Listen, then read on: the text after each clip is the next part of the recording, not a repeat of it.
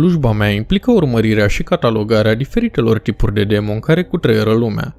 Numele meu este Fairmont și vin dintr-o lungă generație care se ocupă cu așa ceva. Sunt absolut supra-solicitat, prost plătit și am primit absolut zero beneficii în plus de la începerea acestui job. Verii mei, vânătorii de demon din familia Montclair ar argumenta adesea cum slujba mea este cu siguranță mai nasoală și mai puțin interesantă decât poziția lor ca și vânători de demon de grad mare. Desigur, aș vrea să argumentez altfel, dar nu pot. Dar hei, uneori am și eu zile bune, ok? Demonii nu sunt din același plan cu cel al existenței noastre.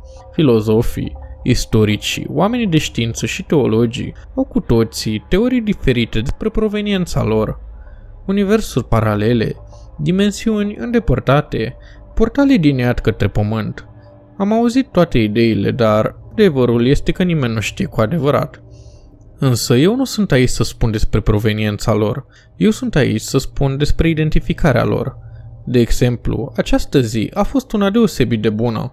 Urmărisem un demon care făcuse ceva ravagii prin oraș până la o fabrică de la marginea acestuia. Un grup de oameni se refugiaseră înăuntru, sperând că pereții groși de oțel vor oferi un sol de protecție. Toți plângeau și strigau cuvinte ritualice, pe care le-am auzit folosite adeseori în rugăciunile către Dumnezeul lor ceresc. Dar absolut nimeni, absolut nimeni nu s-a gândit să deseneze un perimetru în jurul lor sau măcar să baricadeze ușile. Inutil oricum. Demonul a văzut asta ca pe o oportunitate pentru o gustare. Avea aspect de șopârlă cu gheare care avea o travă la capete și sol roșii rezistenți care îi acopereau toată pielea.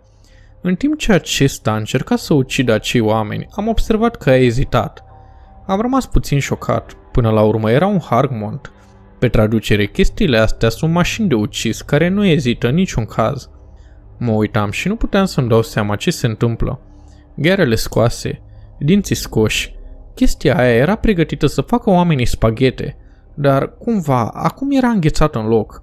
Oamenii văzând asta s-au retras în partea opusă a încăperii respective. Puteam vedea Harkmotul încordându-se, o travă picurându-i din gheare, în timp ce se străduia cu furie să ajungă la oameni. El în mod clar voia să ajungă, dar exista ceva, ceva îl împiedica să-și atingă obiectivul final. Ah, da. Atunci am realizat. În mijlocul oamenilor se afla o fată, la vreo 15-16 ani, care purta o cruce mare la piept, eventual din argint sau fier, cântând aceleași rugăciuni de salvare ca și ceilalți oameni. Cu toate acestea, fata nu a încetat contactul vizual cu fiara pe tot parcursul. Se pare că fiara avea cumva o reacție la rugăciunile ei, sau la ea în general. Se pare că fata asta este până la urmă cineva pe care trebuie să ținem un ochi. Cine știe când ne va putea fi de folos? Am înregistrat eu în reportofonul meu. Observația înregistrată și fenomenele demonice înregistrate. Acum era timpul să curăț această mizerie și să închem verii. Am scos valiza mea Blue 82 și am reglat-o la frecvențele pentru bătăile inimilor acestor oameni. Această valiză este o armă bună împotriva demonilor. Ea poate ataca anumite ființe individuale, dând astfel rezultate imediate cu daune colaterale minime. De exemplu, o setezi la o anumită frecvență, locație, bătăile inimii, numărul de oameni din zonă. La dracu chiar și un tablou ar merge. Iar unda rezultată va afecta doar pe cine trebuie. Ah da, unde rămăsesem. Am setat valiza la calculele potrivite, am imobilizat demonul și mi-am chemat Veri, care s-a ocupat de demon și l-au trimis în dimensiunea din care a venit. Și așa s-a încheiat ziua. Înainte să mă judești pentru că nu am acționat mai devreme asupra demonului și că există o șansă reală ca acesta să-i omoare, vreau să te anunț că nu sunt chiar cel mai mare fan al oamenilor. Adeseori găsesc oamenii ticăloși, nedrepti, impulsivi și uneori de-a dreptul chiar gustoși. Să nu mai zic de faptul că eu nu sunt chiar un om în întregime, dar îți reamintesc că eu am doar datoria să cataloghez demonii. Este deja destul că îmi pun viața la zi de zi făcând asta. Dar acum, haide să trecem peste.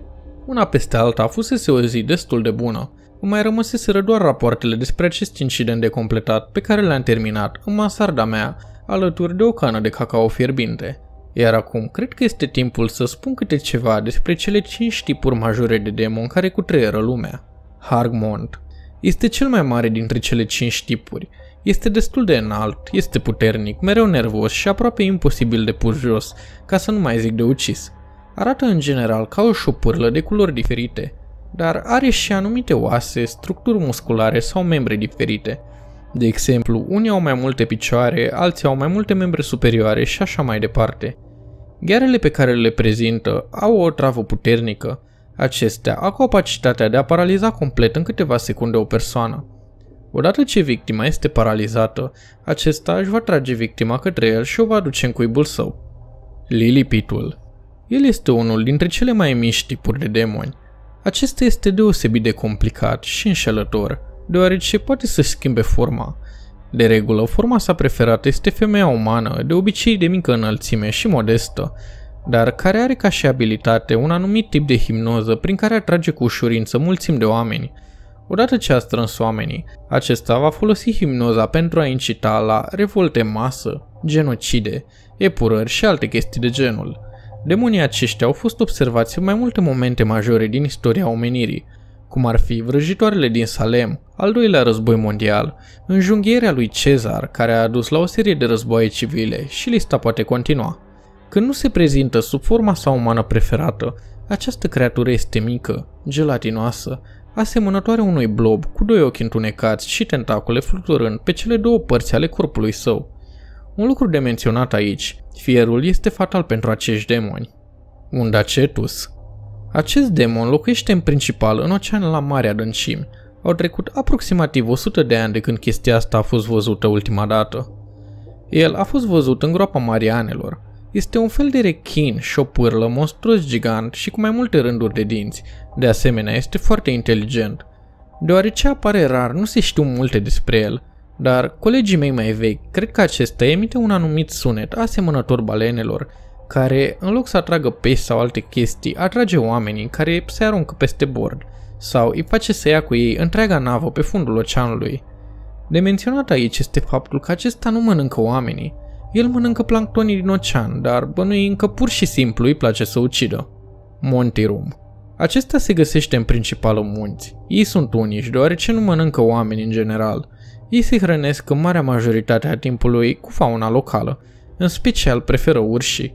Este destul de mare și cântărește în jur de 300 de kilograme, cu blană de diferite culori.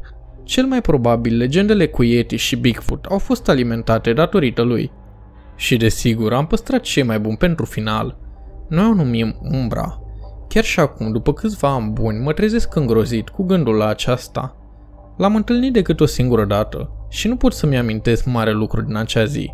Nici măcar nu sunt multe despre acest tip de demon în cărți, deoarece este un demon extrem de rar. Deci nu prea am multe să vă zic. Unii colegi de-ai mei care l-au întâlnit au rămas cu stres post-traumatic și majoritatea dintre ei chiar s-au sinucis. În continuare totuși o să spun ceea ce știu eu despre el. 1. Ia forma unei chestii înalte negre și fără chip 2. Îi place să se ascundă în spațiile întunecate și abandonate. 3. Dacă te prinde, te pune să alegi. De exemplu, Dăm pe cineva pe care îl iubești și te voi lăsa să trăiești pe acest pământ în continuare. Colegul meu a supraviețuit unei întâlniri cu o umbră. A fost în aceea zi în care am întâlnit-o și eu. Ne luptasem cu un Hargmont într-un mall abandonat din Texas. Era imens, urât și a rezistat tuturor eforturilor noastre de a-l imobiliza. Am chemat mai multe întăriri, mai mulți veri cu vânători de grad înalt să se ocupe de bestie, în timp ce eu și colegul meu am început să fugim ca să ne retragem într-o clădire mai jos de mol. Aici începe să devină oarecum neclar pentru mine. Știu că scăpasem de Harmont și că intrasem în clădire alături de colegul meu. După ce am intrat, camera a început să se răcească brusc și asta era destul de ciudat deoarece noi ne aflam în mijlocul verii. Trei chestii s-au întâmplat după aceea. Am auzit un foșnes brusc în spatele nostru și mi-am dat seama că tovarușul meu a încercat să se uite în spate. După ce s-a uitat în spate, acesta a înghețat brusc. Ascultă la mine. Omul ăsta nu îngheață. Era un veteran, un veteran ca el, o bestie de om, nu are cum să pățească asta, mai ales având în vedere că el a fost în treaba asta mai mult decât am fost eu. Dar în ziua aia l-am simțit cum a înghețat. A înghețat ca un șoarece în fața unui prădător. După aceea am fost ridicat brusc în aer și aruncat în partea cealaltă de cameră direct într-un perete. Într-adevăr, am simțit cum multe oase din corpul meu s-au sfârmat în acel moment și durerea era destul de groaznică. Dar sincer, asta a fost nimic în comparație cu strigătele colegului meu care se auzeau din partea opusă. Dar din cauza hemoragiei de la cap, ca urmare a impactului cu zidul, aici am leșinat și nu știu ce s-a întâmplat mai departe. Știu doar că m-am trezit cu o lună mai târziu într-o unitate de terapie intensivă. După ce m-am recuperat, mi-am făcut drum spre casă, unde am aflat ce s-a întâmplat cu colegul meu. Nu mai era. Desigur că nu mai era. Până la urmă, el era un om puternic. Nu ar fi lăsat ca umbra să ia pe cineva drag, doar ca el să mai poată trăi în continuare.